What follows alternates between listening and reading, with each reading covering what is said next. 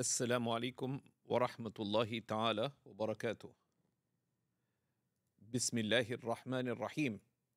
الحمد لله رب العالمين وصلى الله وسلم وبارك على سيدنا ونبينا محمد وعلى آله وأصحابه وسلم تسليما كثيرا. Alhamdulillah, in our course on Essentials of Islamic Beliefs, in which we're looking at one of the classic primers of Islamic beliefs, um, Imam Sirajuddin al-Ushi's work, Bad' al-Amali, we began last week by introducing the text. And we highlighted that there's three core objectives to this course. The first is to know what we believe. Secondly, to understand those beliefs with clarity so that we understand not just what we believe, but also something of why we believe it. And with that, also to touch upon briefly but consistently about how to cultivate faith and certitude. So these are the three central meanings that we are looking to emphasize in this course. Right? So that we have leave this course with clarity of what we believe and why, and then how we should uphold this belief as people of faith. Today we're going to jump into the text itself, بإذن ta'ala, Bad al-Amali. And this text, as we mentioned, is in poem in poetry form, and it is a beautiful text in its expression, and it is representative of mainstream Islamic beliefs, the beliefs transmitted by the Prophet sallallahu alaihi wasallam through successive generations to the great imams of the religion who did not come with something new, right? but rather they gathered and clarified what the Prophet ﷺ came with from his Lord. So the role of the ulama, as Allah subhanahu tells us, that the role of lordly scholars, kunu rabbaniyin, is that you, you explain. You know, the, the lordly scholar is one who explains guidance with clarity, number one. Number two, they make the guidance clear. The duty of clarification entailed compiling texts that simplify and clarify the guidance of the Quran and the Sunnah, but also that answer the questions that the scholars found that people would frequently or consistently ask.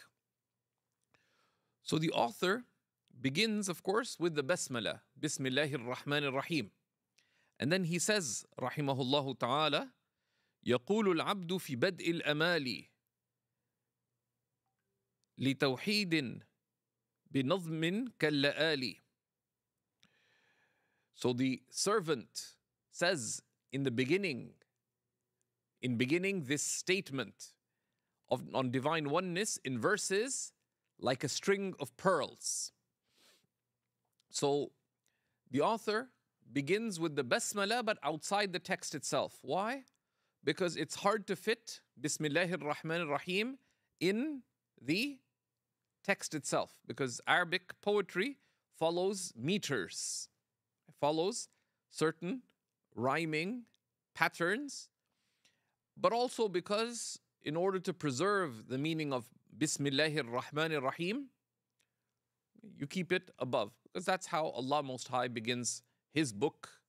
And this is how the Prophet ﷺ encouraged us to begin things. So there's a, an implicit basmala there. So the author says regarding his poem, right, he says, firstly, the servant says. Right, the servant says. And this has an important meaning because he, could have referred to himself as I say, or the author says, or many other things. He could have used his name, but he says, the servant says. Why would he do this, Sadati? Those of you who are online are welcome to, to jump in. Why would he say, the servant says here?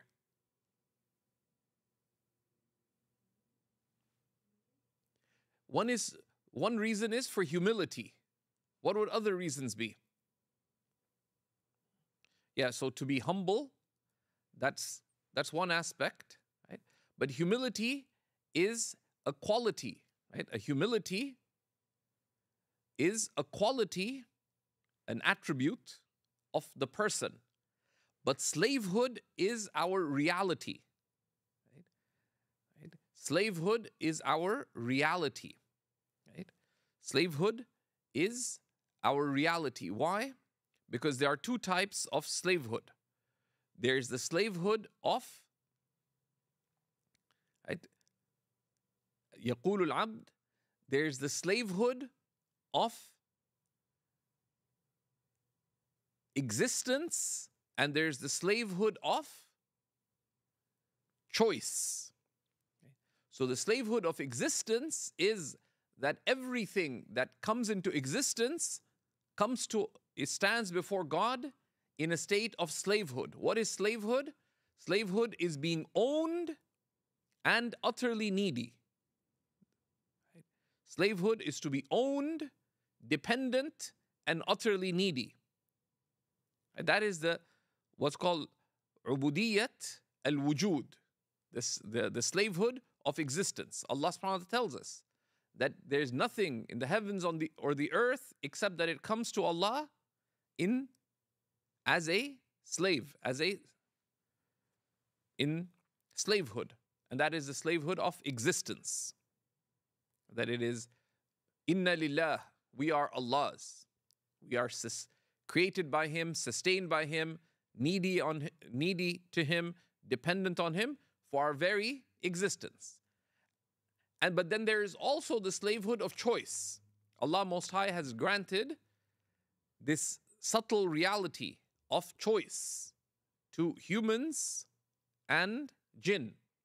And that is the slavehood of choice. This, the slavehood of choice. And that is an honor also from Allah subhanahu wa ta'ala. Right? So the servant says in beginning this statement. Right?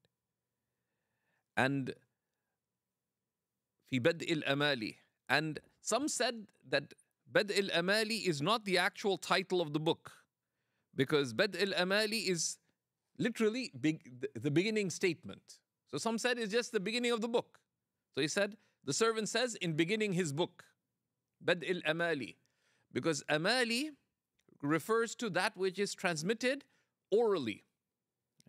And in the science of hadith, especially, you know, the, the ulama, when they had a special gathering to relate hadith, for example, there would be someone who would, there would be people who would write down everything they say. Um, very often topical. So those are amali, a statement that is recorded. Because, but because a poem is typically recited, he's referring to this as Bad'il Amali. Is this the formal title? The commentators say yes, this is the title of the book. Right? لتوحيد on divine oneness. Right? On divine oneness. And that immediately he begins with the subject of the text. Because when you begin something, right, there are adab of beginning. One of them is make it clear, directly or indirectly, what are you talking about? So he says, لِتَوْحِيدٍ. And he puts it in the indefinite. For those of you know Arabic, لِتَوْحِيدٍ. Right? And it's in the indefinite. There's no al there, correct? And the wisdom behind that is when you put something in the indefinite, it's as if you're highlighting for that great subject of divine oneness. لِتَوْحِيدٍ بِنَظْمٍ كَاللَّآلِ but when you begin something, you do have to promote it. And there's two types of promotion there is self promotion, which is not a religiously worthy endeavor, right? Because it simply promotes the self, the ego, right? the I-ness. But there is a promotion of the good done for the sake of God. Right? And that is good. Right? Because if you have anything of the good that you want to spread, it would it's entailed by both reason and everything we know from revelation that we strive to spread it as far and wide as we can as best we can so so he says in poetry بنظم كاللآلي right? in in verses or in poetry like a string of pearls like a string of pearls why would he refer to his own poem as being a string of pearls? Because it is worth it. It, is a worthy poem. So he praises it so that people can benefit. He said, I've written something that is on divine oneness, but then the question arises why should I listen to you? Why should I listen to you? Why should I pay attention to this? So he says, This is like a string of pearls. It's like a string of pearls. Now, nazm is to properly arrange something. That's why um, poetry is called nazm because it is properly arranged. You can't just put words in any way. You have to make it fit the meter and the form and the structure of the different types of poem. So similarly, he's pointing to that that this is not just a poem, but this is properly structured like or properly arranged like pearls. Because if you have a string of pearls, you would arrange it in a way that brings out the beauty of the pearls. Imam al-Busiri says in the Burda, وَالْوَرْدُ يَزْدَادُ حُسْنًا وَهُوَ مُشْتَمِلٌ The rose increases in beauty if rightly arranged. وَلَيْسَ يَنْقُصُ قَدْرًا غَيْرَ مُشْتَمِلِ Though it does not diminish in worth if not arranged. The rose is a rose. But if arranged well, it is of greater impact in its beauty. So, similarly, here he praises his work so that people may benefit from it. And this, of course, highlights for us a practical principle that as a believer, do we praise our actions or our work or what we're trying to sell or promote or market? It's a very useful distinction. There's two types of praise there's self praise which is blameworthy and it can lead to sin because it can lead to arrogance, it can lead to conceit, self consequence, pride, arrogance, then can lead to looking down on others and many, many other blameworthy qualities. But then there's also praising the good for the sake of Allah. Right? Praising the good for the sake of Allah. And this is praiseworthy. This is praiseworthy. Because we are called upon to spread the good.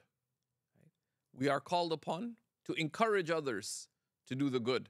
But the key is anything that is, particularly in matters of religion or good, we begin with turning to Allah subhanahu wa ta'ala and intending to seek the pleasure of Allah in that matter, to be in the circle of safety. So, this is why he praised his book.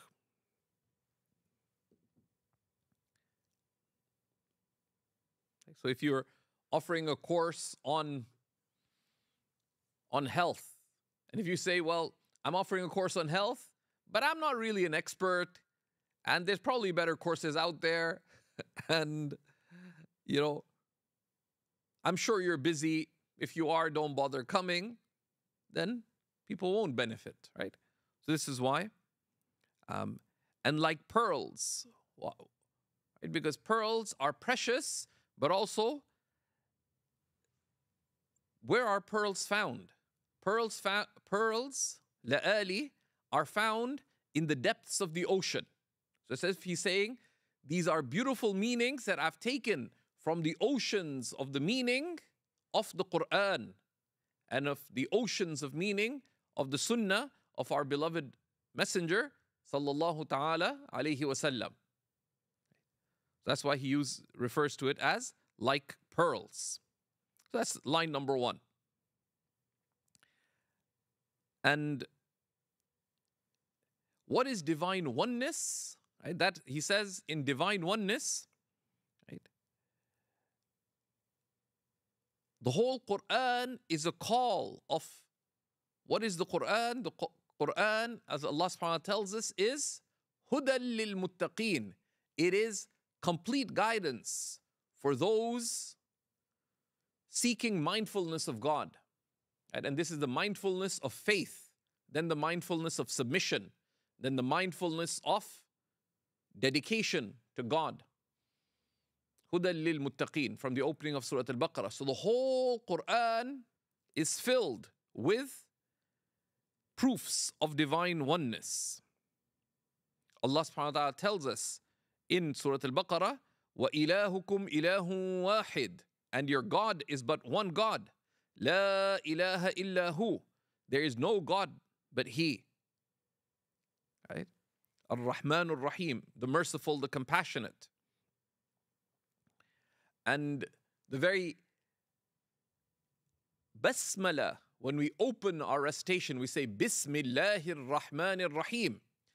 Like I begin by the name of Allah, I by the one named God, by the one named Allah, who is the encompassingly merciful, and His mercy encompasses everything.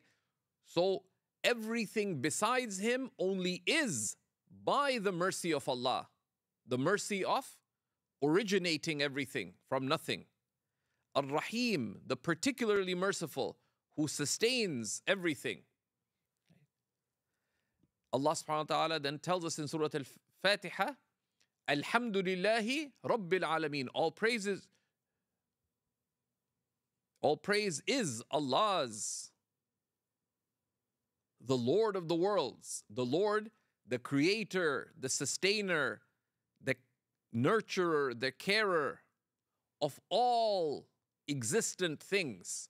So both the basmala and when we say Alhamdulillahi Rabbil Alameen contain within them, for the one who reflects, proofs of who is God. And likewise, every part of the Quran, the central theme of the Quran is divine oneness. Right? And the statement of divine oneness itself, when we say La ilaha illallah, there is no God but Allah. And this is a central theme of the Quran is to realize the meanings of La ilaha illallah and why we should uphold Muhammadun Rasulullah. That there is no there is no one free of need of any other, whom all are in absolute need of, but Allah anything besides God that you can see or consider, its fundamental reality is neediness. And all need an originator, all need a sustainer. That originator and sustainer, that is God.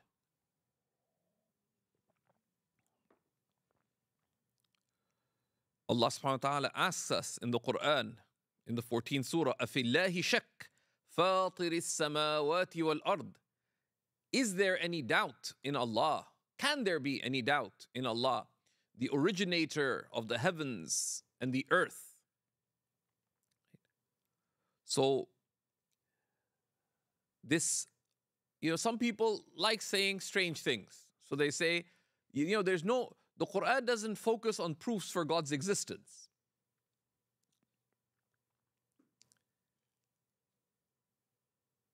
Uh, God's existence is obvious. Yes, God's existence is obvious, but the Quran is all signs and proofs of the oneness of God. So, for example, Allah subhanahu wa ta'ala tells us, amongst the types of rational proofs, is the reality of the need of everything for God, right? And that there's only one necessary existence. Everything besides Allah is originated. And anything originated requires an originator, one who brings it into existence. Right? And that originator can only be one. And this is a theme that Allah tells us to reflect on the createdness of the heavens, the, the earth, the alternation of night and day, the calls us to reflect on the on the birds and all these phenomena that Allah calls us throughout the Quran to reflect upon. And what is the central point of reflection? That these are all created things. They're all dependent things. أم خلقوا من غير شيء Were they created from nothing? أم هم الخالقون Or did they create themselves? Right? And ultimately, and we'll look further down in the course on the details of this, but just to lay the groundwork, that originator can only be one because had there been more, more than one creator, eh, more than one God, Allah subhanahu wa ta'ala tells us, لو كان فيهما آلهة إلا الله لفسدتا. Had there been any gods in the heavens and the earth but Allah Himself, both would come to rack from the strife, meaning they would not exist. If there's more than one God, then the world could not be. One, because if you think about it, if there are two absolute beings, they could differ, and initially you think they'd be chaos. But if you think through, this is there's a formal rational proof which we'll study later, but just to get a glimpse of it, that God, who is God? God is the absolute creator, right? So the absolute creator has will and power. They can choose anything, whether to do it or not to do it. And anything that they choose with their will, they can create with their power. That is God. The necessary existent who gives existence to all others. So if there are two gods like this, one could will something and the other could theoretically not will it. Now, something cannot be and not be at the same moment. So the one whose will comes to pass, it would appear that they're God. So the other isn't God. But then the opposite could have been true that the other's will could have passed. So ultimately, neither would be God. So it's not just that the world would be in chaos, the world would not exist because such a God is not God. And Allah subhanahu wa ta'ala tells us in verses that our beloved Prophet sallallahu alaihi wasallam encouraged us to recite every single night. Right? And he himself would do this, and we know this in from the Sahih. And these are the final 10 verses of Surah Ali Imran, the third surah of the Quran. Allah subhanahu wa ta'ala tells us, إِنَّ فِي خَلْقِ السَّمَاوَاتِ وَالْأَرْضِ Truly, in the creation of the heavens and the earth, وَاخْتِلَافِ اللَّيْلِ وَالنَّهَارِ And the alternation of night and day, لَآيَاتٍ لِأُولِي الْأَلْبَابِ Are a multitude of mighty signs for those of insight and mind.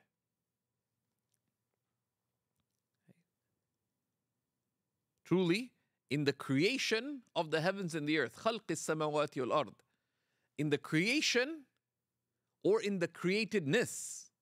So anything that you see, you know that it is necessarily created. Every effect requires a cause. If the cup was empty, suddenly it's full. Say, how did it fill itself? How did it get full? Oh, it filled itself. That's not how things work. So we we observe a relationship between cause and effect. But more than that,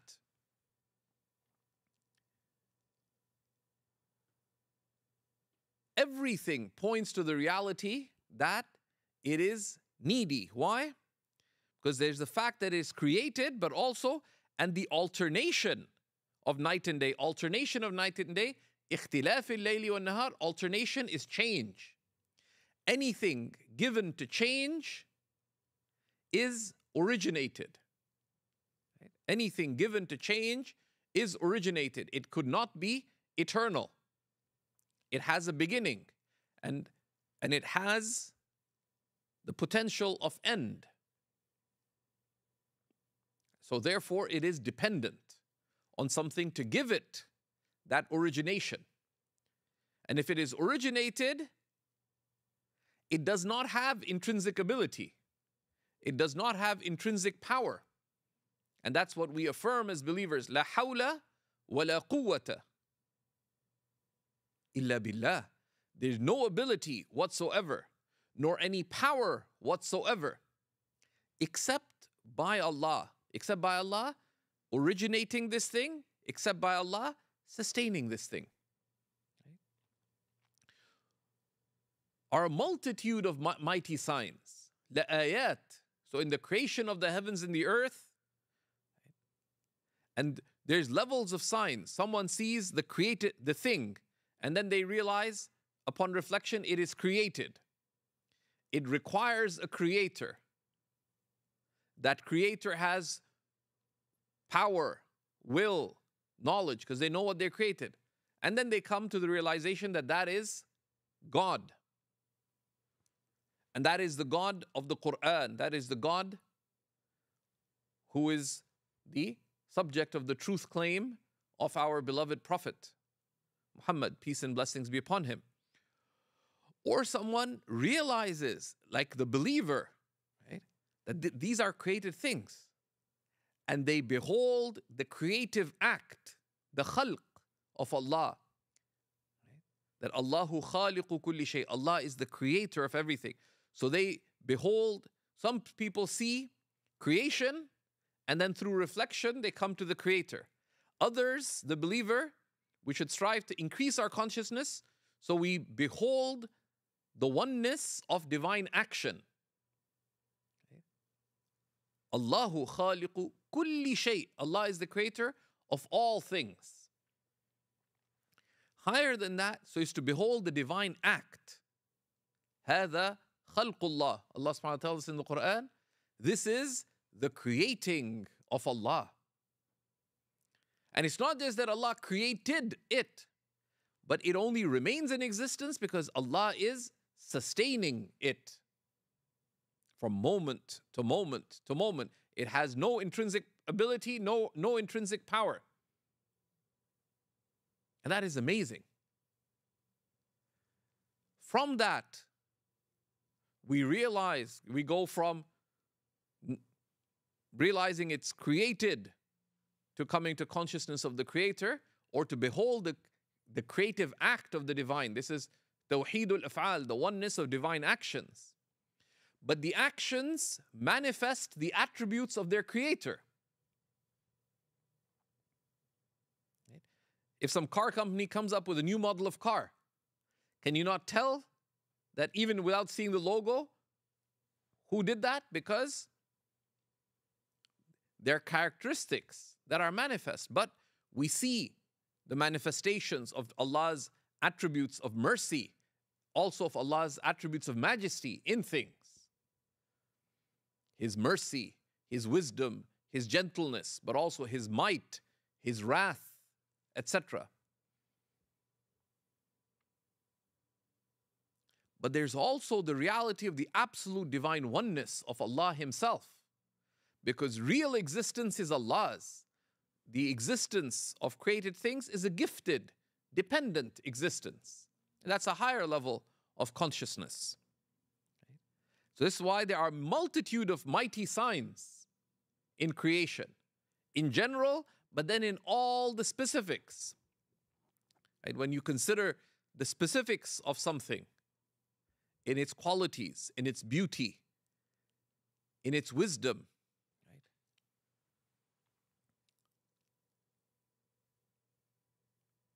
You see the marvelous ways where you know systems in creation are in this balance, this mizan. You realize that this could not be ربنا ما خلقت هذا باطلا. You did not create this in vain. There's a wisdom, mercy, and purpose in creation. How could this be an accident? Any one instance, you could not believe that it is accidental. But for all of creation to manifest this wisdom, there are just six numbers that, were they just slightly off in existence, the universe would not exist. I think it's Martin Rees, he was the head scientist, whatever they called him in England, this book called The Six Numbers. But the so the, these verses that the Prophet ﷺ would recite tell us that change entails origination, right? And creation, right? Because what is creation but things and their attributes?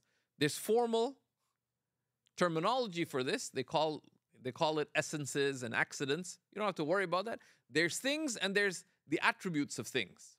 And a thing cannot exist by without qualities. You cannot have a wall but has no characteristics. The characteristics of things in existence are either changing or given to change. The fact that the wall is white tells you that it is created because it could be black. Right? So its attributes are merely possible. The attributes are merely possible, it tells us that that thing itself is merely possible and dependent. So anything given to change is originated. Because things cannot exist without attributes, so they themselves are originated. They have a beginning. So change itself, you know, like when it's raining, so the it was sunny and it was raining. Some people just see the the fact that it's raining, I'm going to get wet, etc You're stuck with creation. But you can go higher than that as a believer and realize هذا خلق الله. This is the creating of Allah. And that's the, the key to step from misery to contentment is to see things as being from Allah.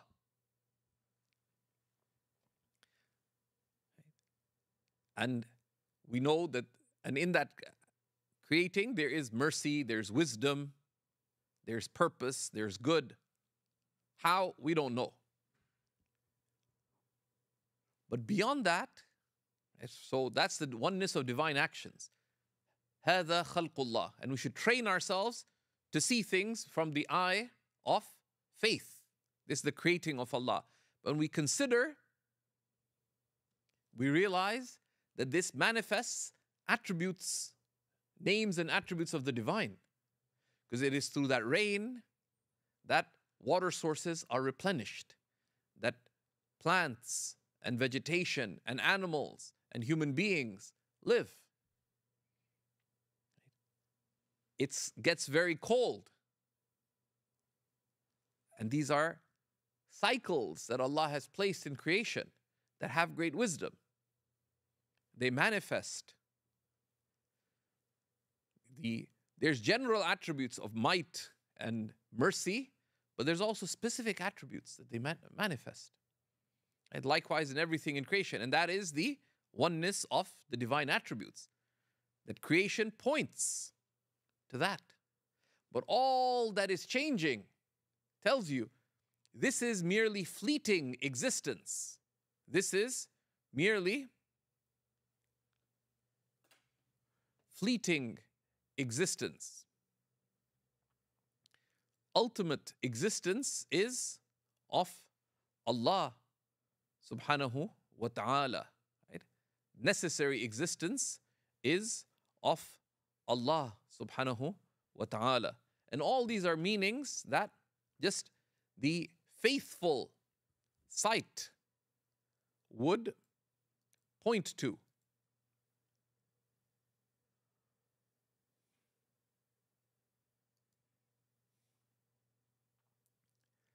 That faithful sight would point to for the believer.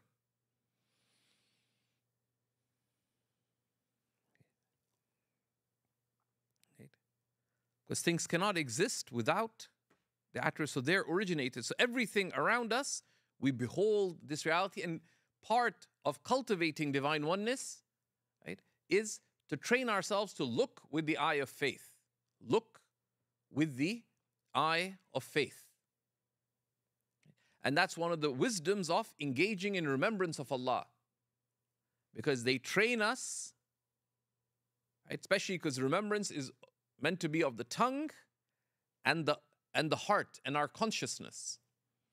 So that we can see things from the eye of faith, the reality of when we say La ilaha illallah, there's no God but Allah.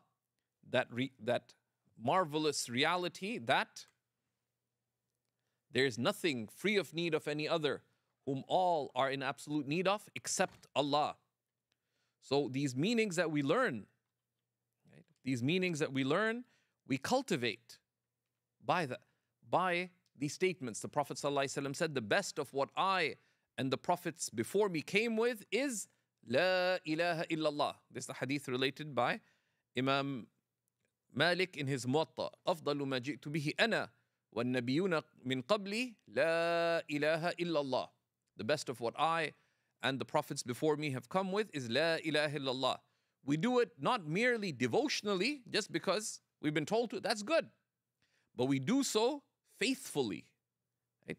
striving to be conscious of their meanings. That there's none worthy of worship but Allah, there's none absolutely free of need of any other, whom all are in absolute need of but Allah. If you keep saying that, and then you see something you're afraid of, what is it?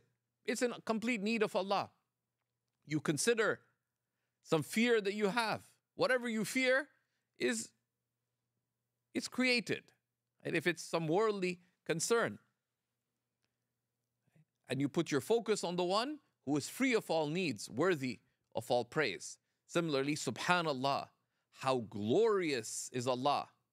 You either say it considering created things. Like we often say something amazing happens, it's not just the Islamic wow, subhanallah, right? but rather you consider whether it's the particularly good gulab jamun, he says, subhanallah, that's tasty. It's creation, it points to an ultimate creator, and it's not your mother-in-law, right? Right? But whether it be the fleeting gulab jamun or it be looking at the fall colors or it be some marvelous thing that happens. You thought you'd blown your budget this month, but you look at your bank account, you actually do have money for the rest of the month, so you don't have to explain to your husband where did it all go. These things happen. Subhanallah. But these cultivate faith. Alhamdulillah, all praise belongs to Allah. That's why we should we cultivate faith by reflection and then action that is faithful. So then he tells us further on who is God, who is Allah. So he tells us in line number two إله الخلق مولانا قديم موصوف بأوصاف الكمال. So he lays down a general principle. The God of creation, our master, is eternal and is characterized by all attributes of perfection. The God of creation, Ilahul Khalq. The God of creation, meaning creation. And this, of course, points to that proof that everything around us is, if you reflect on it but slightly, is created. All that is created requires a creator. And that creator could only be one. and infinite regress is absurd. And we'll touch upon that a little bit later. Because with infinite regress, you've never, you've not established what began this. Right? And we see what there's proofs why absolute eternity in creation is absurd. We have some resources on seekers if you want to rush into the answer, but we'll get to it step by step. Right? Our master, Maulana. The Mawla in Arabic is a very interesting term. It Mawla can refer to wila, it's from wilaya, which is a, a relationship of association between two. So the Mawla is both the master, can also mean the one who's under the care of another. So, it, so slaves, when they would be free, they would be ascribed to a particular tribe or person. So they say Mawla Bani Quhafa, for example. And there, because it's this relationship of this association right, of either care or being cared for. But it's used like many terms in the absolute sense and the relative sense. There are some of our literalist brethren who object that how can you refer to a scholar as Maulana? Because Allah subhanahu wa ta'ala, we say in the Quran, Anta Maulana, you are our master. It's a simple concept that there's the absolute terms when they are affirmed for Allah, they're used in the absolute. Allah is the absolute master. He is our Lord. So Maulana is the Lord and the one who cares for. Right? Right? Maulana is also, ter- and therefore he is respected. Right? Maulana right, is used for scholars, for example, etc., because they are respected and they take care of the religious well-being of the community. Right? And there's other. So it's a term of respect. There's the absolute respect and there's the relative. Otherwise, we couldn't say, says, are you knowledgeable? So no, only Allah is knowledgeable. Are you alive? No, because only Allah is alive. Right? Do you have choice? No, because only Allah has choice. That's true in the absolute sense. But we affirm both the absolute and the relative. It's a simple concept that some of our brethren don't pay attention to. Qadimun, he is eternal and characterized by all attributes of perfection. So there's a few things. God, right? The term God, ilah, refers to the one, the one worshipped. Right? That's just a God. The God, al-ilah, is the is al ma'budu bihaq, the one who deserves to be worshipped. But the ilah, right, the term ilah, one of the scholars said that people were dazzled by the origins of the word God as they were dazzled by the reality of who God is. Because they say that ilah comes from wala, which is the, to lose your mind in the in the magnificence of another. And there was actually one of the names for love. Wala. That you know the, that a pure-hearted lover, when they thought about their beloved, they'd lose their mind. They, because they're so dazzled by the, the, you know, the beauty of the object of their love. But now, if that can happen in creation, what about the creator? Beyond that, right? So that's one. Or it's from ta'alluh, is the one you are utterly devoted to. And the object of utter devotion. And that's the, the meaning of, you know, the, the one worthy. And that utter devotion is ibadah. it, it, it is worship, right? Um, and but what are the characteristics? Allah subhanahu wa ta'ala tells us. He's Rabbul Alameen. He's the creator and sustainer, the Lord of the worlds. Right? Allahu khaliqu kulli shay. Again, there are those who would say these definitions given by the mainstream school of Islamic beliefs, they'll argue this taken from, from the Greeks, from the philosophers. No. Allah subhanahu wa ta'ala says, Allahu khaliqu kulli shay. Allah is the creator of all things. That's the definition. A is B. So one of the definition, who is God? God is the creator of all things. That's a Quran. It's a rational definition, but it's also a because only the one who created everything is worthy of utter devotion. So that is a definition from, from the Quran. Right? He is the creator. Right? And that's he points to that, right? Ilahul Khalq, the God of creation, or the God, God, the one who has created all things. Who is our master? Who is our master? Because he takes care of our affairs, Maulana. And because he takes care of our affairs, we are dependent on him. And anyone who does good to you, gratitude is due to them.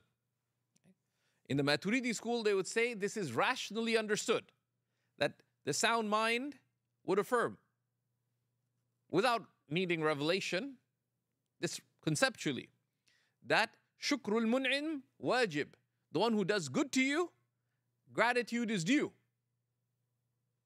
And they would say aqlan wa shar'an, rationally and religiously. And of course, we know that gratitude is due to the Creator. He's our Mawla, He is our caring master. Of course, what is He? His the origin of divine care is that He has created us, He sustains us, and then everything else. So, worship to Him. What is worship? Worship is how we express our gratitude to God for the gift of existence, for the gift of life, for the gift of being a human being, for the gift of faith, for the gift of guidance, and then the gift of all the goods that we have and the good that is around us.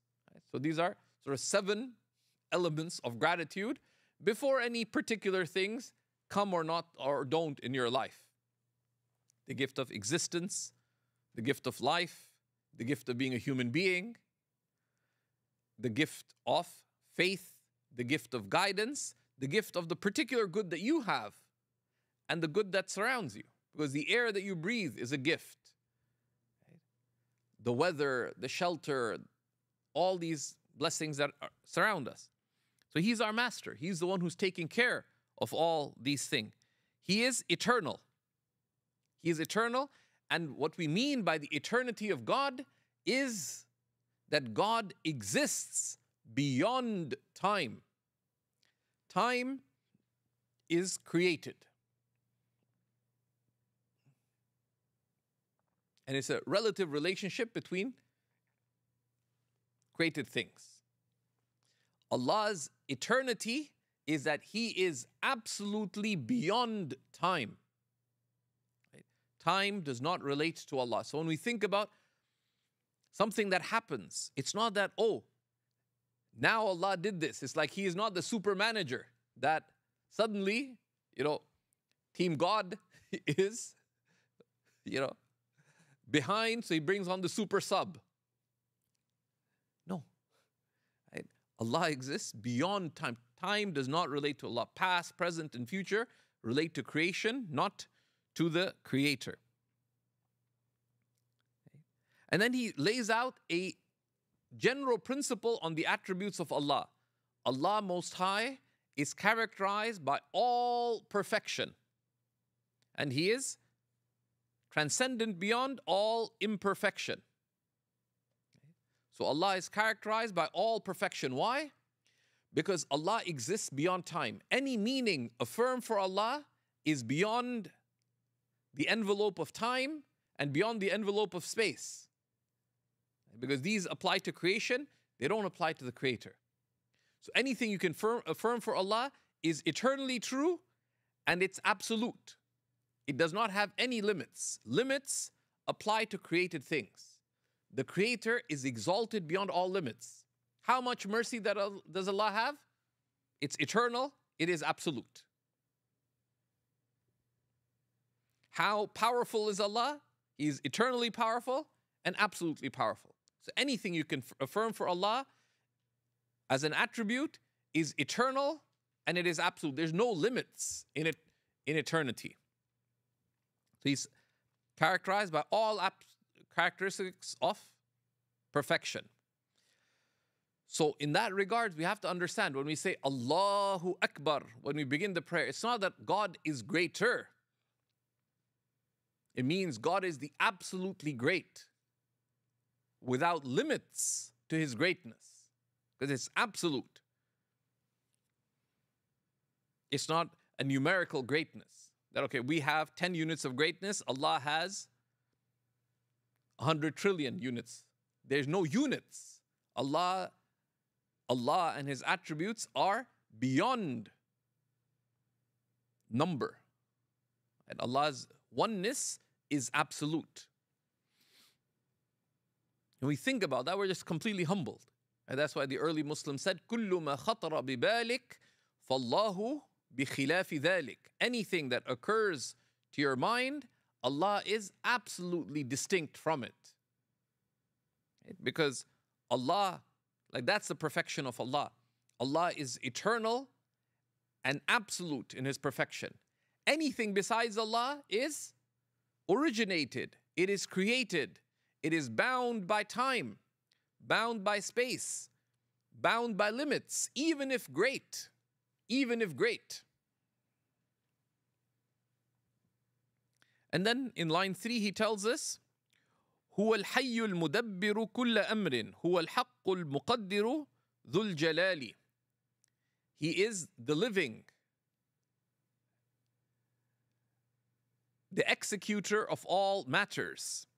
He is the real, the powerful, the all majestic. Right? So there are a few lessons here. Right? He is the living. Right? This is, of course, one of the divine names. Right? Al Hayyul Qayyum. That is mentioned in Surah, in Ayat al Kursi, for example, and uh, elsewhere in the Quran. Al Hayy, the living, is the one who, who has absolute life right? and who is the giver of all life. Right? So he has absolute life. His life is independent. And all other life is dependent on his creating it and his sustaining it. And he is the executor of all matters. Why? This relates to his being Al Qayyum, the sustainer, that everything in existence is sustained by Allah. خلق كل شيء وقدره تقديرا. Allah has created all things and specified for them all their characteristics. So he is the mudabbir. بيده الأمر, in his grasp are all things. Right? هو الحق. Right? And this returns to Allah's will and his power. Right? He is the real, al-haq, or the true. He is the real, right? Because any there's nothing that you can affirm that, that is more true than the reality of God. That's why it's one of the names. Al-Haq, the real. Right? He is the most real in his existence. Right? So he is the most fundamental truth.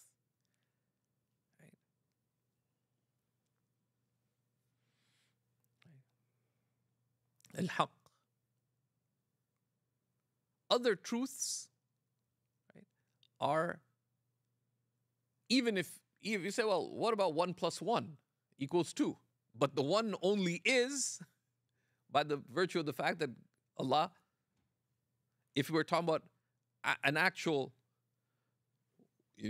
actual one plus one equals two, this is by Allah and this is by Allah.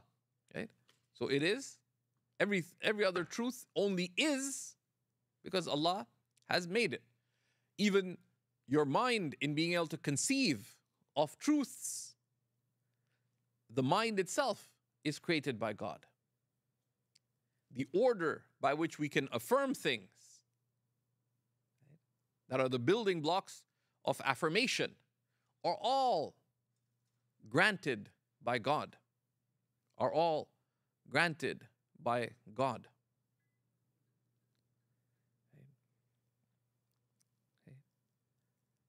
Muqaddir, he is the powerful specifier. Right? Powerful specifier. Why? Because all that happens in existence happens by Allah specifying it with His will and originating it with His power. So He's the Muqaddir, Dhul Jalali, the Lord of Majesty, the Lord of Majesty. Why is He the Lord of Majesty? Because He is He is characterized by all attributes of perfection, of greatness. But yet He deals with us on the basis of mercy. وَرَحْمَتي وَسِعَتْ كُلَّ شَيْء So that causes us to be further humbled. Because we, you know, because the reality of God is what? إذا أراد شيئا إنما أمره إذا أراد شيئا أن يقول له كن فيكون His command, if He wills something, is merely be and it is. Or don't be and you're not. But the very fact that we remain in existence, you could be just zapped out from existence. But Allah deals with us with lutf, with subtle grace, with rahmah. Right? وَرَحْمَتِي وَسِعَتْ كُلَّ شَيْء My mercy encompasses all things. What's a thing? A thing is something that exists. All of this is under the lutf, that sustaining grace of Allah. Dhul Jalali. Right?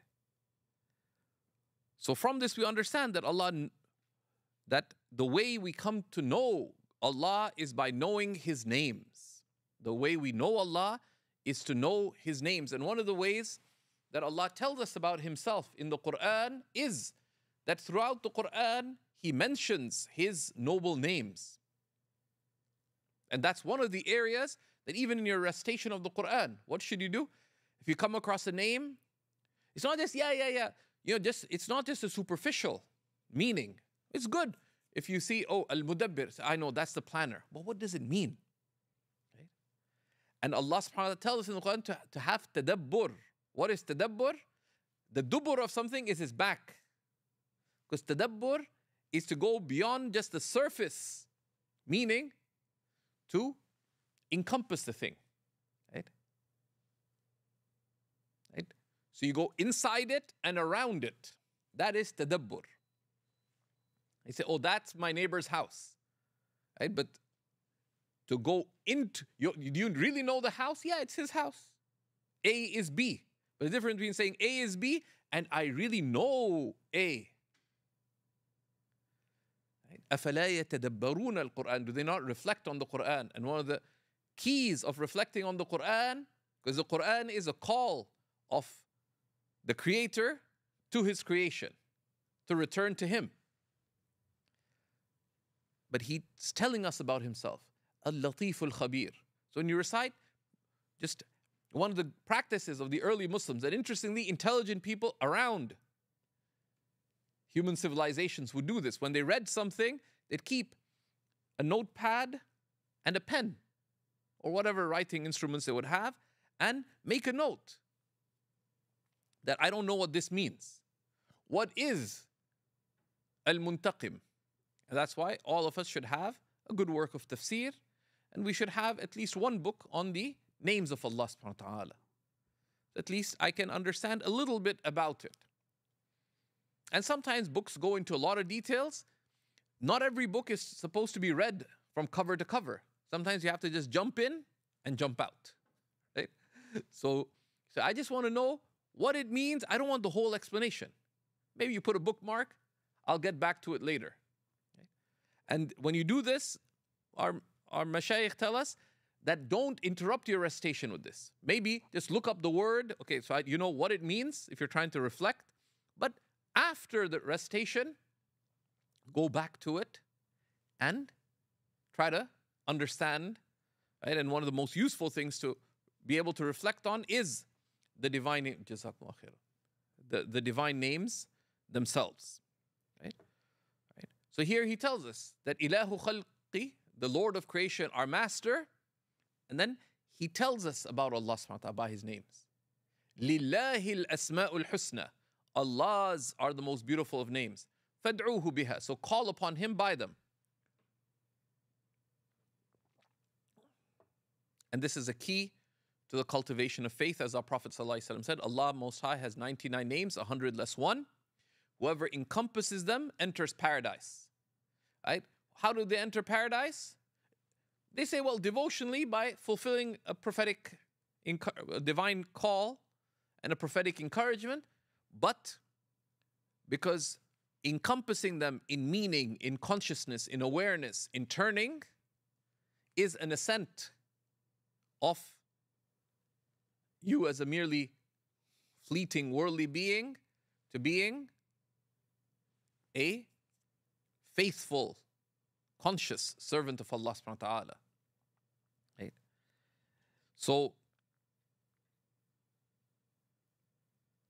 then he tells us مريد الخير والشر يعني والشر القبيح لكن ليس يرضى بالمحال says he wills both good and evil and the vile. However, he is not pleased with the wrong. So this is one of the things that people would be confused about. Right? And we have, for example, a number of faith traditions that keep talking about the problem of evil. Sometimes they give it a technical term, theodicy, theodicy, etc. Why? That God must do the good. But this comes from a dualistic tradition that there's a God of good and there are forces of darkness, and there is a war between light and darkness. Yes, we affirm that there is light and there's darkness in creation, and this is an ibtila, a, a test from Allah. There's a wisdom both in good and in evil. Why? That's tahqiqul ibtila. Right? This is part of the exam. And exams are meant to be testing.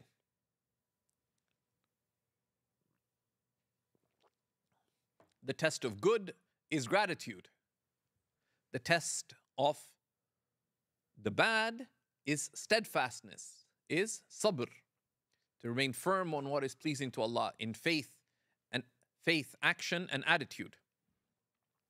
So He is the creator of all things, whether it be good or bad. قُلْ كُلٌّ مِّنْ عِنْدِ اللَّهِ Say it is all from Allah. The enemy that is attacking you, is it attacking you this in spite of God? No. That too is a test. So the eye of faith sees everything as being from God. And so we don't see a problem of evil. The fact that another earthquake came to our brethren in Afghanistan. It's from Allah. Some land has an oppressive ruler who's killed thousands of innocent souls. That too is from the will of Allah. It's a test. The one who responds to the test with faith and steadfastness is eternally in paradise. They pass their test. They pass their test. Right? But he is not pleased with the wrong, but he is not pleased with the wrong. Why? Because that wrong, right and wrong, good and bad, do not relate to God. I have a spare cable. I put it in charity. I just put it away. Um, it's my cable. I can do what I want with it. Even though our ownership is limited. Allah can do whatever He wills. It's His creation. He created it without it owing existence to Him. However, so good and bad do not relate to God. If Allah subhanahu wa ta'ala took at this moment all existence stopped. Is there anyone to say, why now? There's no one left to say why now. It's all His. That's why we say, Inna lillah. Indeed, we are Allah's. Ilayhi raji'un. And indeed, it is to Allah that we are ever returning. So, good and bad do not relate to the actions of God. Good and bad relate to the choices of those morally responsible, humans and jinn.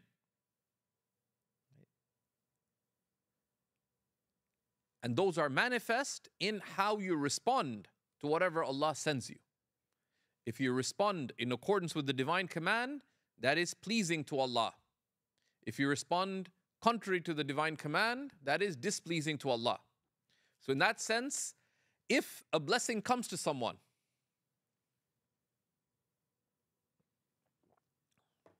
they got a job. Is that good for them or bad for them? They got a good job, halal, tayyib job, everything. Is it good or bad? Hmm? Is it good or bad? It is good or bad accord, in accordance with how you respond to it. If you respond to it, right? And there are two basic responses which are shukr or sabr, gratitude or steadfast patience. Right? So pleasing things you have gratitude. You see them as from being from Allah. You ascribe the blessing to Allah, and you resolve to respond to the to direct this blessing towards the pleasure of Allah. So it, then it's good for you. Otherwise, it could be bad for you. The person before they didn't have a job, so they couldn't spend on the haram.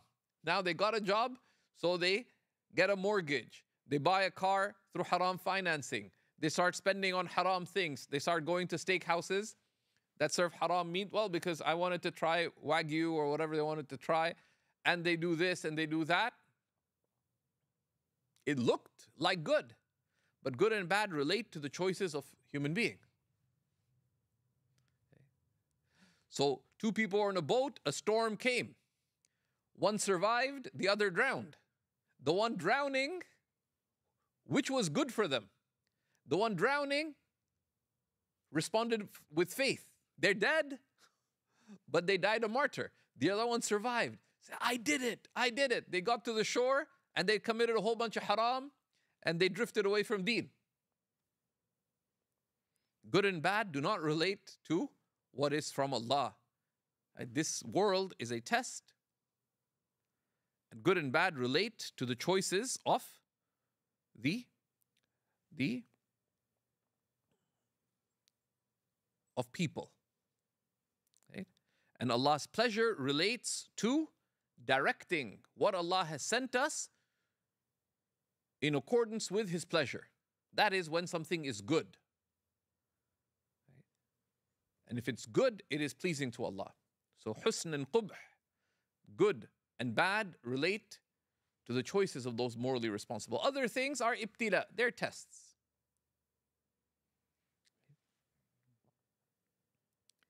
So that's what we wanted to highlight today from the first four lines of this text and trying to highlight these key meanings that we are focusing on in this course to know what we believe, to have clarity about why we believe it, and beyond that, to cultivate our faith and certitude.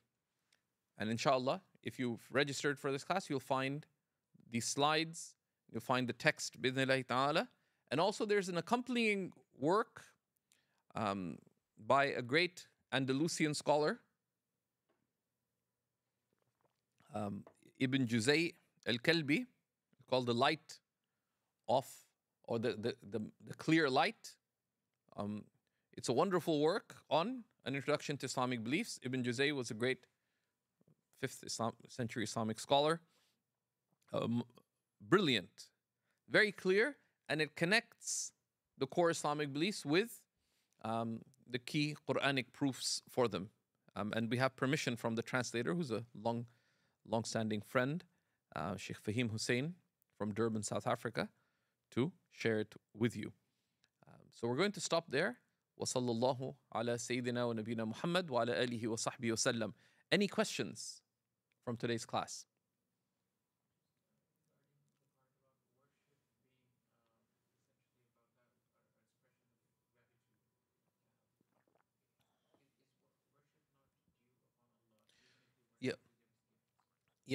So the, the issue of worship being entailed by God. No, so it we worship Allah for multiple reasons, right?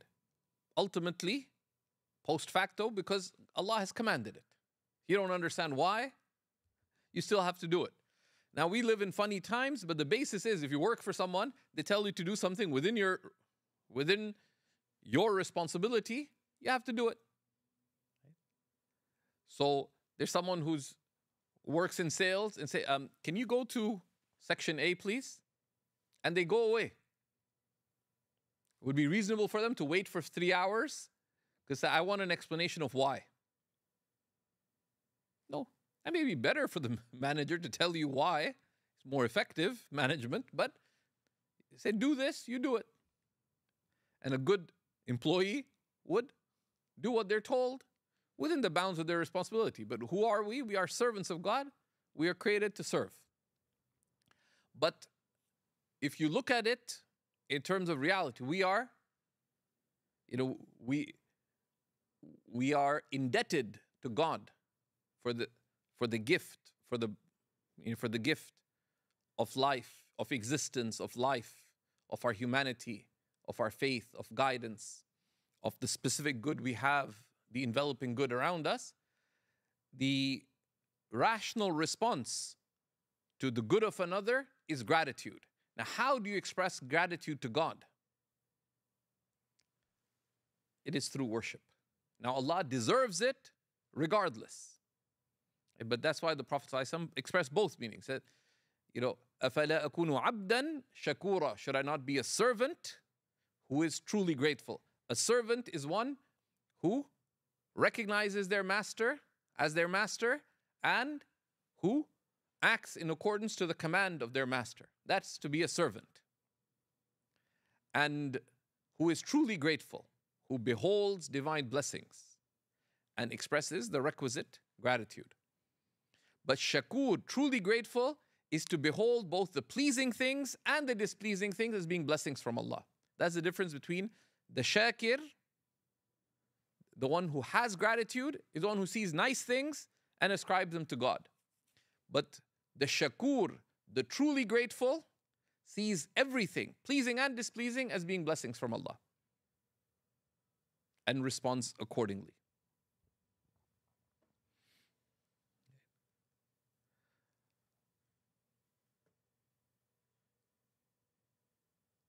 There's a question. If we say that Allah Most High is beyond time, how can we also say that He is the one who sustains everything at all times?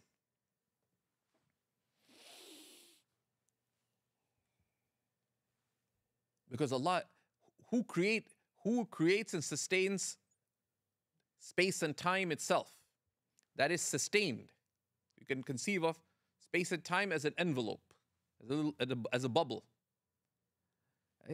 It is Allah who is sustaining that bubble and all that is within it. All of it is enveloped by kun fayakun, be and it is. Um, the, the scholars talk about the attachments of divine attributes. So Allah's attributes are both eternal and some of them relate to created things. So, for example, Allah's power is eternal. In eternity, Allah can originate anything possible or not originate it. Allah can create or not create in accordance with His will. So the attribute itself is eternal. It's a, it relates to something that happens in creation, which is that Allah Most High originates, actually originates some of the possible with some of the qualities possible for it in the context of time and space in accordance with what He has eternally willed, with His will. And as we look further at the attributes of Allah, we'll, we'll look at that. but that's a that's a very thoughtful question. Jazakum ta'ala khairan. Um, so we'll stop here. وصلى الله وسلم وبارك على سيدنا ونبينا محمد وعلى آله وصحبه وسلم والحمد لله رب العالمين. And inshallah, in 10 minutes, we'll be starting our class on the on perfecting prayer, uh, looking at the prayer of those close to Allah. Uh, so if you'd like to join us, we'll be back in about 10 minutes.